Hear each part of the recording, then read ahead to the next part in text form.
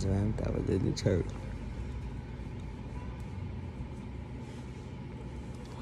Here's the catch.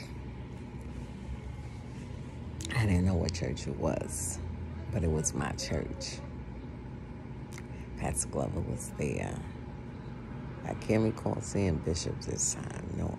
Usually I have when I have a dream I see Bishop or the focus be on Bishop. And I don't see Pastor Glover. But this time it was Pastor Glover.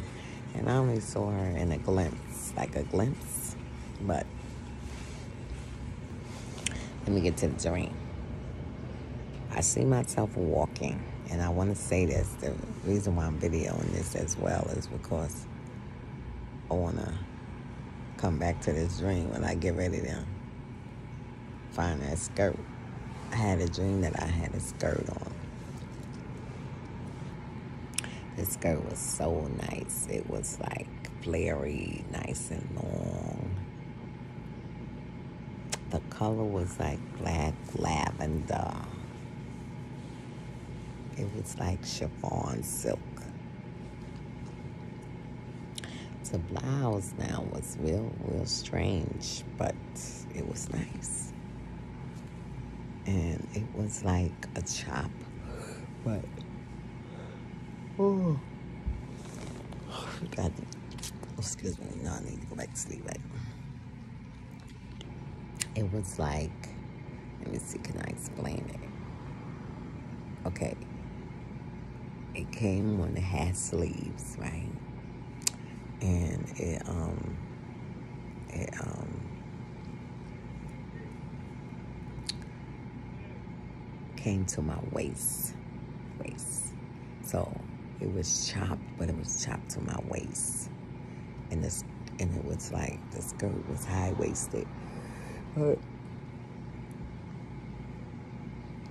it didn't show nothing and it was like a shiny material like this, but it was white, like a white, shiny, silky material, right? And um, I see myself with it on, right? But here's a strange thing. Keisha came and knelt down in front of me and she was touching the sides of my skirt. But she was like kneeling in front of me, right? And she was like, I like your skirt. This is real nice. And I was looking at her like, why is you on your knees? Right? And then I sat down and looked like I was doing my hair. It was nice, nice length. It came like to my like to my shoulders. It wasn't long but I was doing it in a church and I was braiding it. And Missionary Macmillan, I'm seeing all these people. Missionary Macmillan came over to me and said, um, no, she didn't come to me. She was like a few rows away from me. Um, oh my goodness, your hair is so nice. I'm trying to get mine to grow, right? And um, I didn't say nothing. I just took that out. And I was combing it out. And she was just looking at me, right? Then, now the dream switches. My attention goes back to Keisha. I don't know. Keisha sit next to me in this row. And I said to Keisha, this is what kid, this is what got me as well. I said, um, how's Pastor Lee? She went like this. She went, I said, oh my goodness. So I don't know, maybe he's not doing well. It's maybe that man is up to the Lord. I don't know. But in the dream, I was kind of confused, but I didn't feel anything like he was dying or nothing. What I, I'm going to say what I said in the dream. Well, I'm going to say what I felt in the dream. In the dream, when she did that, I was like, wow. That's how she feel about her husband. I don't know. It wasn't like I took it now that I'm talking about it. I took it as it's up to the Lord. But in the dream, when I say high capacity, she just looked up to, to the sky like he ain't doing too good. She ain't want to say too much. And my response was, oh my, oh my goodness. You know? I guess it was more so like, he's not dying. He's sick, but he's not dying. He'll be all right. But maybe she looked up to the ceiling saying, well, it's up to the Lord. I don't know. And then Mary came. It seemed like Mother Giles was in a dream, and she was saying, I saw her and I walked over to her. I was like, oh, hi, Mother. And she was talking to me and everything. And I said, um, she said something about, where's, um, such and such, right? And I was like, who? And she said, something she said. And I said, who, Thomas? I said, Thomas is right there. She said, oh, okay. It looked like Thomas was back in the church looking like his old self. Right? He was looking all crazy looking. And then I saw Mary. And she looked like she was helping Mother Giles. But she looked like she was on trustee board dealing with the account, dealing with the money and all that stuff, right? And she came a few seats ahead of me and she was writing out something. Somebody was said something about her glasses. She was like, "Yeah, I know I need these glasses." Right? And she was wearing glasses, right? But she looked. Everybody looked like we look now. I look like I look now, meaning that I wasn't older. It wasn't no younger dream. It wasn't no future dream. It was like it was right there. Like it's what's going on. It's gonna be.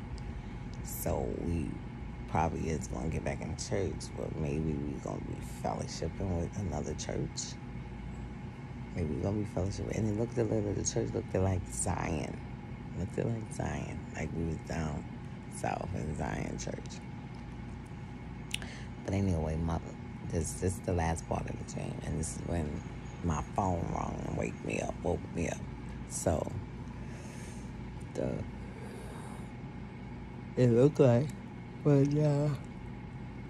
And and and um yeah, we was talking but not really talking.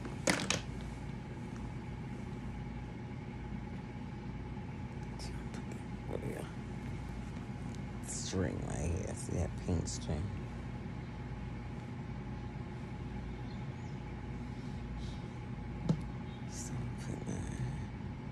So anyway. So, Renee, I'm to say Renee. Whoa, that's my cousin. So, um, Mary, she was walking outside. And then and only then is when I saw Pastor Glover. Pastor Glover says, um, oh my hand. Pastor Glover says, um, says something to her. And she must have said, something about a cigarette. Because she said, yeah, I'm about to go get, it sounded like she said, I'm about to go get my cigarette from her. And Pastor Glover went, and I was back there saying, maybe ain't got no shame in her damn. She's, so apparently she wasn't saved. Talking about some cigarette. I don't know whether she said cigarette, but whatever it was, it wasn't correct. I washed my hair. Gotta fix my edges. It's pulling.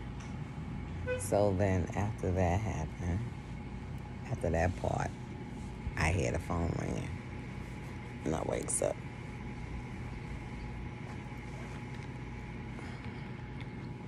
So that's was my dream. But I just couldn't get over Keisha's look.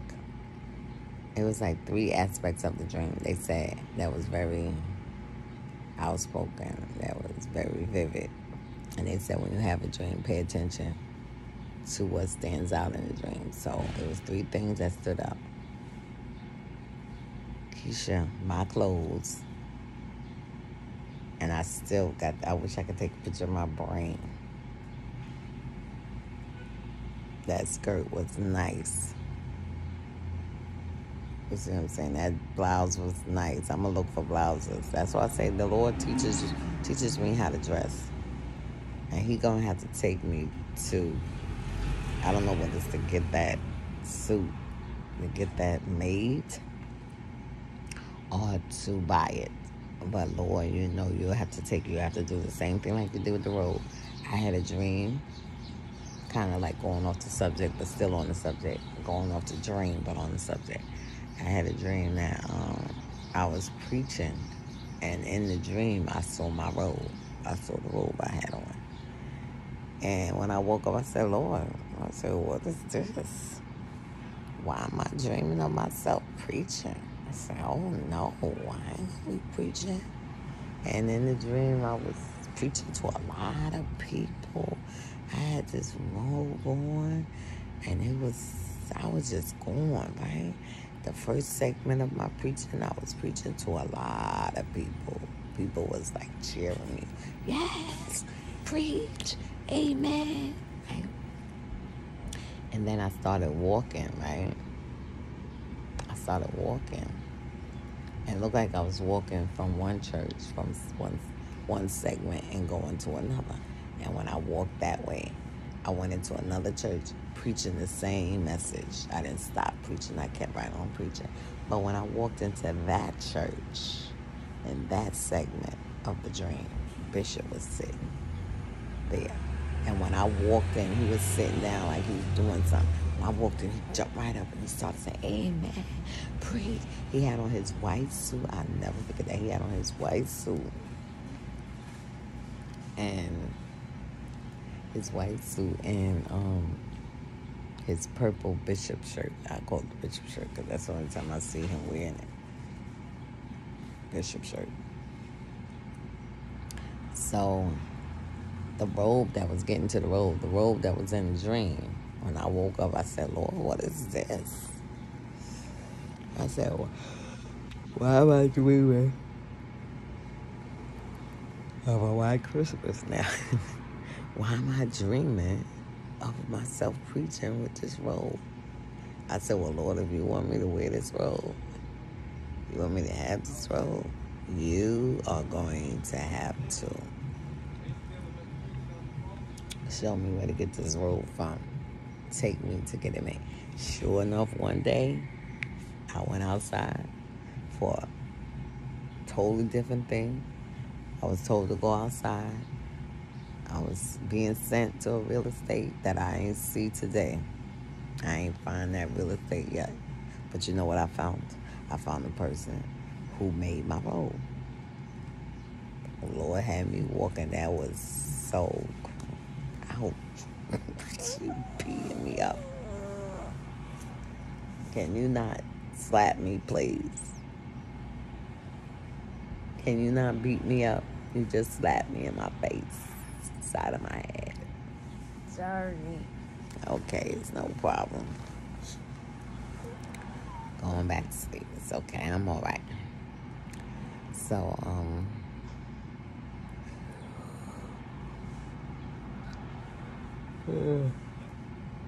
oh, excuse me. Mm. So,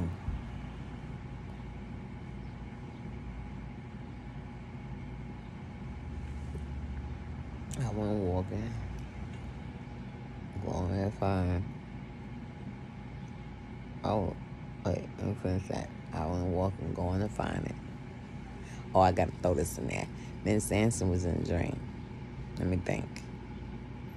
He was, I don't know where Sister Kathy. It wasn't that type of dream where he was married. And it wasn't even that type of dream where I was married. Because in the dream, there was some feelings transpiring between us. Uh, and don't don't even get this wrong. He married. Don't even take this in wrong with it. This is a dream. And I know they say dreams do come true, but in the dream, we was nowhere thinking about nothing. Me and him was talking, and I don't mean like talking like that. He rapping to me or something it was something he had to do. He was doing something. And I was giving him my opinion. But it was like my the whole thing of that, of me and him, we was so um like talking to one another like he was how can I explain it? Because y'all crazy people probably take it like, yeah, he was trying to talk to him and he was trying to talk. No, it wasn't that. It was more so if y'all knew our if y'all knew our relationship now, then you'll understand what I'm saying. Our relationship now, let me see if I can break it down. Our relationship now is nothing. Right? Our spiritual relationship is nothing. Whatever he gonna do, he gonna do. He's over the he's the president of the youth department and I'm the vice president, right? But he don't consult me into nothing with nothing. Like the youth explosion is coming up now. I I've totally forgot that I was supposed to consult him, but in all, I'll hit him up. I'll hit him up today. I hit his daughter up to hit him up because he, he don't really answer me. That's my point. He don't say nothing. He don't have nothing planned. He don't want to do nothing. And so, yeah, I better hit him up because I don't want nobody to think I'm going over him. So in the dream, it was different. That was the opposite. He was talking to me. He was having conversation with me. It was like we was besties, and put it that way. It was like we was besties. You know, I don't know whether he was getting a message together to preach, but we was just like buddy buddies. So that's my point. So, you know, so back to the rope.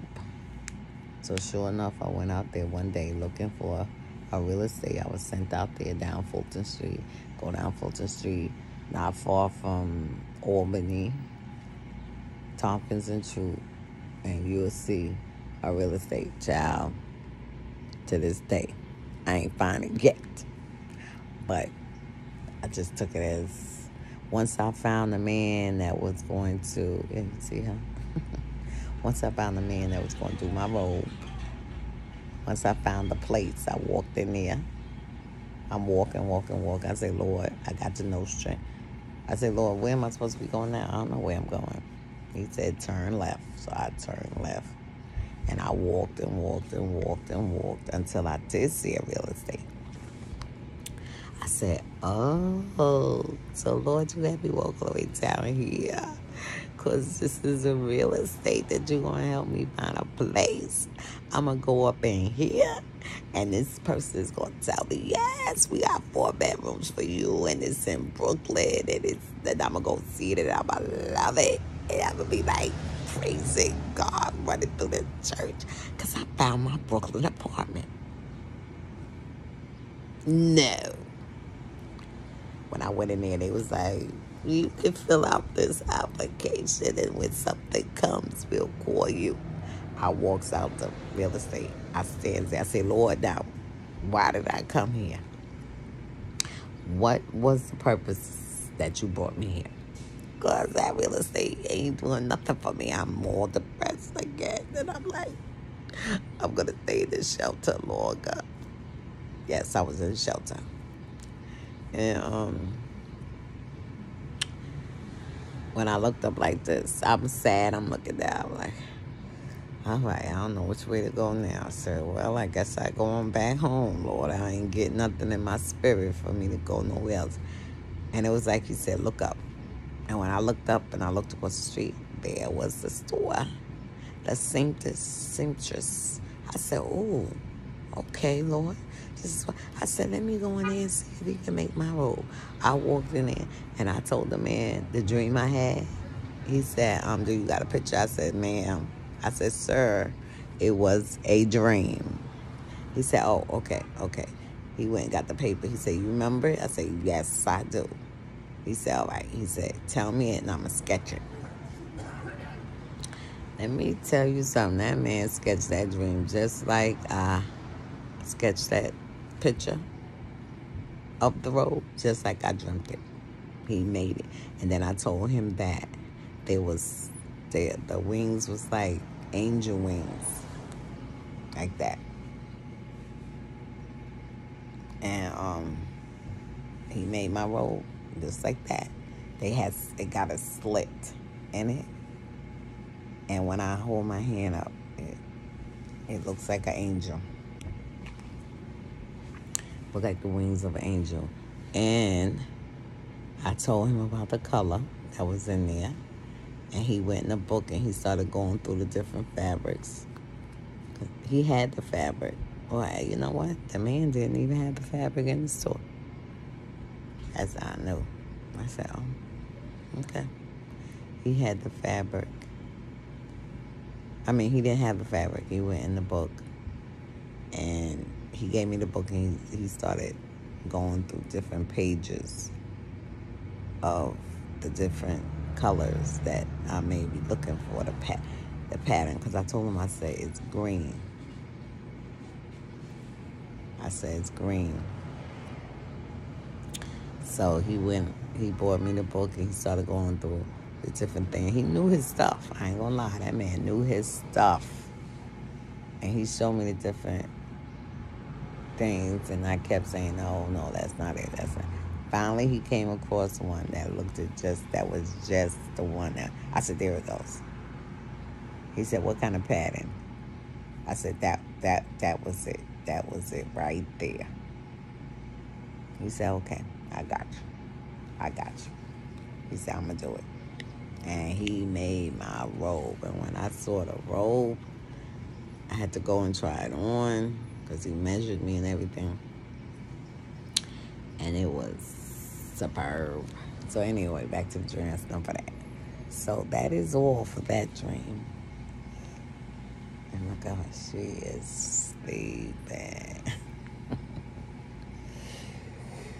all right, so I will uh, get off this thing. I'm supposed to be getting a package. That's why I'm up. I ain't getting nothing. And I went on a website, FedEx website. They talking about schedule pending. I'm like, you know what? I'm sick of y'all. Y'all always doing this to my Apple products. Why y'all can't just give me my products? Why you want to be holding it? So that is it. Pray God all is well. I ain't even getting a check up on my hair. I bought me some hair and they take it forever. But I guess not. Let me see, when did I order? I think I ordered the 30th. No, I ordered the 26th, 26, 27, 28, 29, 30. 30 days at September. April, June, and November. Although it's okay. 26 and 17, 8 to 9, 30. 31. 1, 2, 3. Days of third, right? 4. 5. It's 5, 6, 7, 8, 9. 9 days. 26, 17, 8, 29, 31. 1, 2, 3, 4. Yeah, 9 days. But I paid for overnight shipping. So when they do ship it, I'm going to get it the next day. It's the processing. I'm being patient because I know how hair is. I know you got to get the right hair. And I was doing, looking at some videos. So I got to go because I got I, I came to my phone first because I had gotten a call. You know, and since I was Oh, since I had this dream about Keisha, I was like, let me go on Facebook and see if Kayla said anything. But the only thing I saw that she said, uh, apart from this minor stuff, was that um, she I just got something from Apple that she loved you. She said, I love, I love y'all all, all. So I wrote on her I, I comment told her, I love you too, girl, and praying for you. So, Lord, give us strength, whatever it is. And I'm to go, and I will talk to y'all later, because I got to go do my prayer and read my scripture. Because I'm trying to train myself to instead of picking up the phone when I wake up, I pick up the Bible. So I'm on the phone now because I got a call. And I thought that it was, because sometimes I get the, I not sometimes, I get the deliveries for these foods, for food. So I um thought that was the man calling. He always call and tell me he outside. This is it's time for delivery because I got a delivery Sunday, so Monday, Tuesday, Wednesday. I didn't get it Wednesdays. Oh yeah, I did get a delivery. Am I talking about? That's the one that the money woke me up and said, "Grandma, Nana, somebody knocking. You got a package at the door." So when I went there, it was left in front of the door. But anyway, I just thought it was somebody important and it woke me up. So I know that I was supposed to be getting a package at 10.30. It said by 10.30, at 10.30 a.m. So I didn't really want to go into prayer. Look at me, I'm trying to explain myself to you guys. But anyway, I didn't want to go into prayer and get interrupted by the bell. So, since they said they're going to be scheduled and they don't know when the, something happened, so I'm going to go to my prayer, to my prayer and read my scripture. Maybe I'll take myself read my scripture. All right, you have a blessed day. God bless you. This is May, May, you hear me? This is June the 4th, 2020. We're still in the coronavirus pandemic. And this is Thursday morning. God bless you.